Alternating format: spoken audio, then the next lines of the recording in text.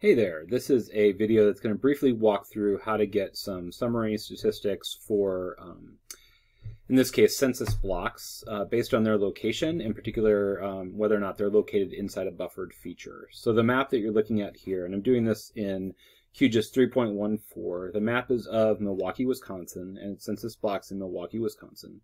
And our task is to figure out what's the population that lives inside this uh, pink buffered feature, which is a um, buffered version of parks or green space. It's pretty common kind of analysis, like access to green space kinds of kind of thing that one would do in GIS. We want to know how many people live inside this buffer compared to the whole area. So there's a couple steps we need to do here. First, we need to identify the blocks that are actually inside that buffer, right? So to do that, it's under Vector, Research Tools, and Select by Location.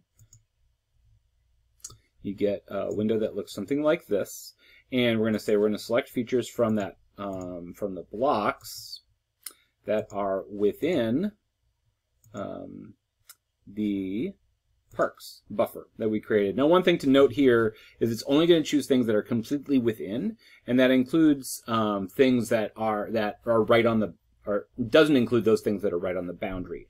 So sometimes you'll try to do this and I want to select things by location and it says census tracts and it will it will cut out those census tracts that touch the boundary of a county if you're choosing census tracts that fall within a county. So sometimes you have to give just a little bit of a buffer to the second layer um, in order to make it work. In this case, like there's really not much overlap between these parks boundaries um, here and the block boundaries, so we don't need to worry about that very much.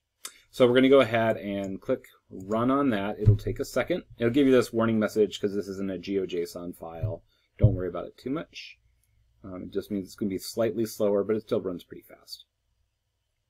Okay, it's done. So we'll click on close, and if I get rid of the parks layer now, you'll see if I zoom in that a bunch of these blocks, takes a while to render because there's about 100,000 features here, a bunch of these blocks are now selected in yellow. That's great. So now we have those blocks that are completely within those buffered parks features.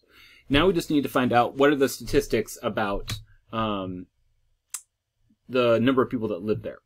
There's a few different ways to do this in QGIS. The first one I'm going to do is the fastest, is to click on the statistics tool.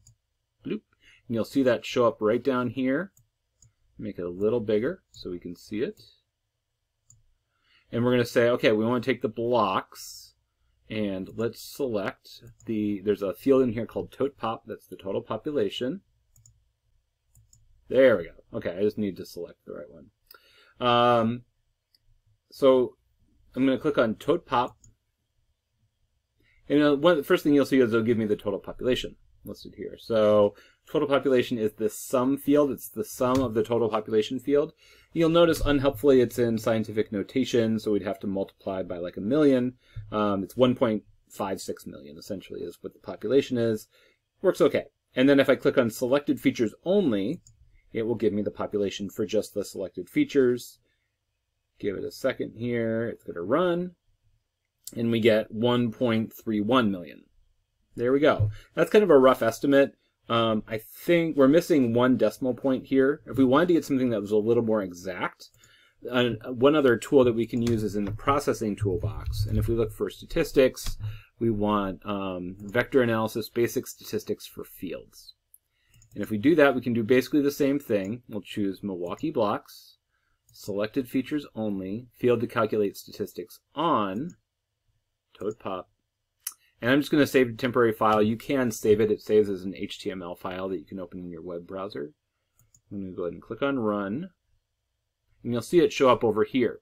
So now there's a little output to a temporary HTML file. If I click on that, I get a very um, plain formatted file um, that again has a sum here. And this is the sum for the total, uh, for the selected field. So it's 1,307,919 people live within inside that area. I could run that again for the total area, total, um, not check the selected um, fields. So that would be, let's just do that real quick, just to show you what that would look like. So if I do this again and do Milwaukee blocks, but do not choose selected features only, and do TotPop and run that, we'll get our denominator. So if we want to know what percentage of the population was in each one, I'll go ahead and close there, click on this again, we get the output listed here.